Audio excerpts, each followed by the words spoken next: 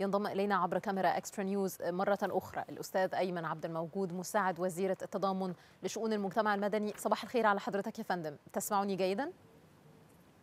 صب... آه صباح الخير على حضرتك وكافه المشاهدين وكل عام وحضراتكم والشعب المصري بخير. وحضرتك بخير يا فندم. لو حضرتك تكلمنا عن آليات عمل وزارة التضامن لتحقيق التكامل في مسألة تقديم الرعاية والخدمات للفئات المستحقة في إطار مبادرة حياة كريمة. طبعا بكل تأكيد وزارة التضامن الاجتماعي معنية بالتعامل مع الأسرة المصرية في إطار المبادرة الرئاسية حياة كريمة لتطوير الريف المصري. بننسق جهودنا مع مؤسسات المجتمع الأهلي المصري. طبعا بكل تأكيد كلنا يعني سمعنا وشاهدنا إعلان السيد الرئيس عبد الفتاح السيسي رئيس الجمهورية إعلان عام 2022 عام للمجتمع المدني.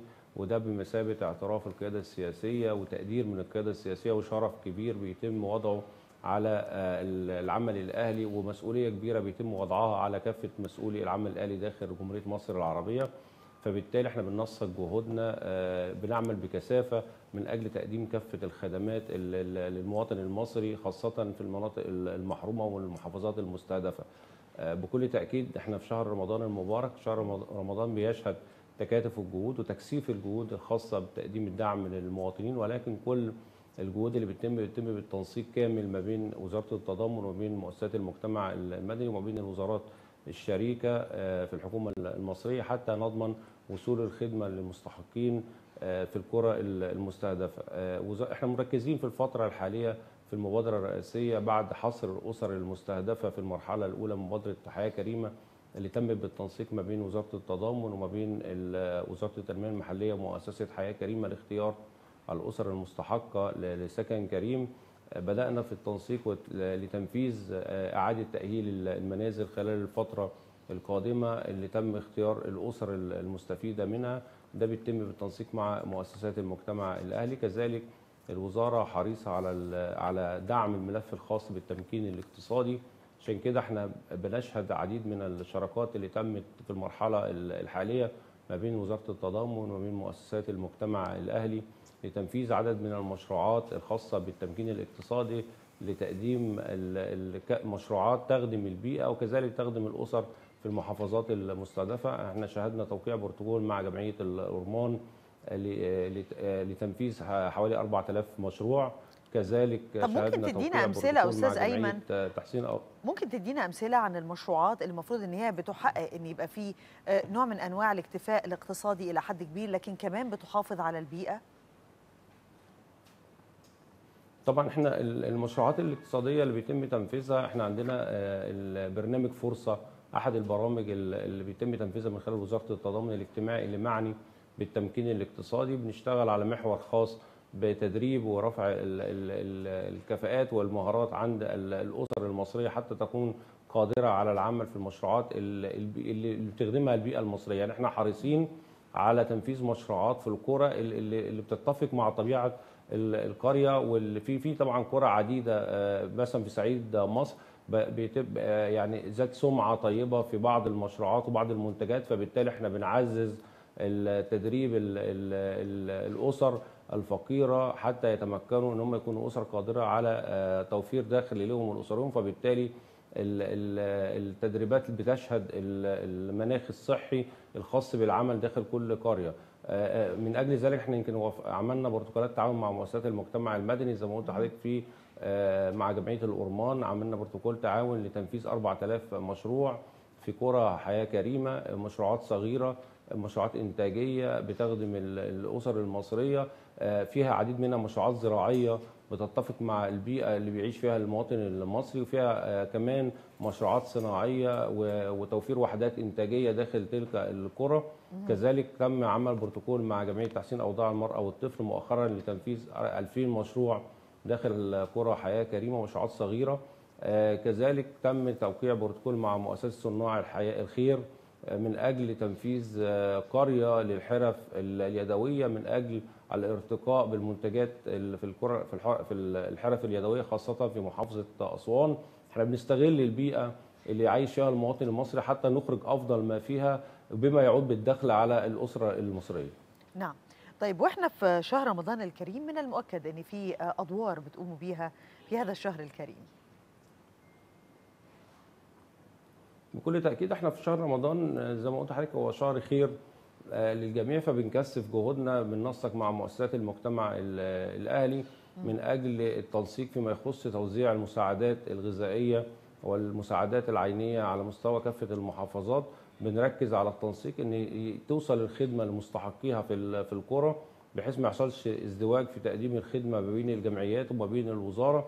بننشئ قاعدة بيانات متخصصة بيسجل عليها كافة المستفيدين من كل الجمعيات الأهلية ودي مرحلة انتقالية بتنقل المجتمع المدني نقلة ثانية في إطار إنشاء منظومة إلكترونية للعمل الأهلي. إن شاء الله يتم إطلاقها بشكل كامل خلال الفترة القادمة. تم إطلاق المرحلة الأولى والثانية منها خلال الفترة السابقة والمرحلة الثالثة آه، بصدد الوزارة إطلاقها اللي هتشهد آه، تسجيل كافة آه، بيانات المستفيدين من الجمعيات الأهلية حتى نضمن عدم وجود ازدواج في تقديم الخدمة وحتى تكون في خريطة لل- للعمل الاهلي نقدر نبرز فيها جهود العمل الاهلي ونقدر نقول لل- للمواطنين العمل الاهلي بيساهم بنسب على وجه التحديد آه، قد إيه بالظبط سواء في خدمات التعليم أو خدمات الصحة أو خدمات المساعدات وال- والحماية الاجتماعية والرعاية الاجتماعية. كافة مناحي التدخلات الخاصة بالجمعيات الأهلية. طيب آه، من أبرز المجهودات أيضا يا أستاذ أيمن النقطة الخاصة بمشروعات سكن كريم آه، ضمن آه، خطة المبادرة الرئاسية لتطوير الريف المصري حياة كريمة. لو حضرتك تكلمنا عن آخر التطورات الخاصة بها. طبعا بكل تأكيد هي أحد المحاور ال- الهامة الخاصة بالتدخلات. المرحلة الأولى انتهت اللي هي خاصة بحصر الأسر المستحقة وفق معايير اجتماعية ومعايير اقتصادية لاختيار ال- الأسر والمنازل ال- التابعه للأسر المستحقة.